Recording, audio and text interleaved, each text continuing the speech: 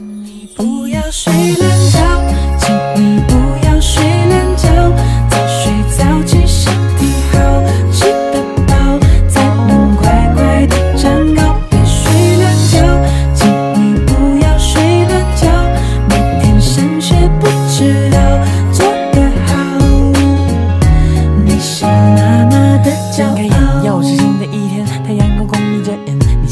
在床上赖着，想要多睡一点？昨天的家庭作业多得让你傻眼，磨磨蹭蹭写完时间一半也两点，这次再专心一点，作业会变少一点，都快要上。